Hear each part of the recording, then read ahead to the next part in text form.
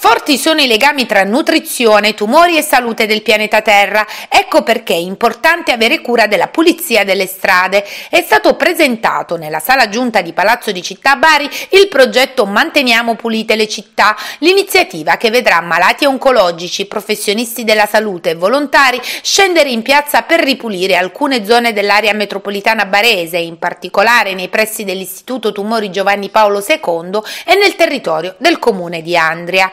La situazione non è eh, così drammatica, però eh, non c'è ancora il senso civico. Questo è un problema molto importante, quindi l'amministrazione, il Comune di Bari so che da una vita fa campagne, ma anche l'AMIU, campagne di sensibilizzazione, però non c'è ancora un'attenzione diciamo, d'eccellenza rispetto alle città del nord Europa. E anche ad Andria eh, c'è lo stesso problema, quindi anche su Andria, interverremo anche su Andria eh, dove verremo a incontrare il sindaco, la, sindaca, la, sindaca, l'avvocatessa, in modo da eh, sensibilizzare anche nel territorio questi, questi aspetti che poi sono il futuro dei nostri bambini. Il progetto, organizzato dal Comitato Consultivo Misto dell'Istituto Tumori di Bari in collaborazione con la Direzione Generale dello stesso istituto e la Pubblica Assistenza Serbari, si pone l'obiettivo di ribadire l'importanza di un ambiente sano per la salute di tutti, poiché spesso i tumori sono provocati dai nostri comportamenti errati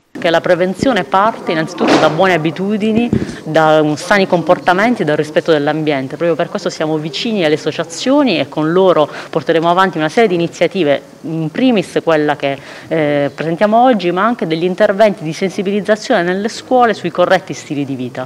Noi stiamo avendo un problema delle microplastiche nel mare che sta generando una eh, situazione gravissima sul piano proprio dei prodotti ittici.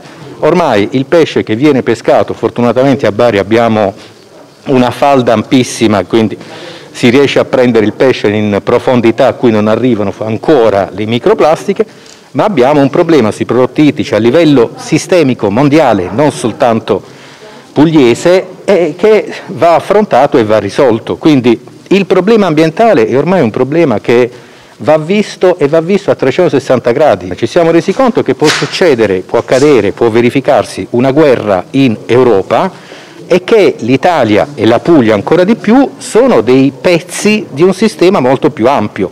Sull'ambiente è ancora più importante entrare e acquisire questa consapevolezza. Se continuiamo a ragionare solo con la logica del quartiere, beh, eh, direi che non ci saranno mai esempi che potranno portarci a diversi comportamenti.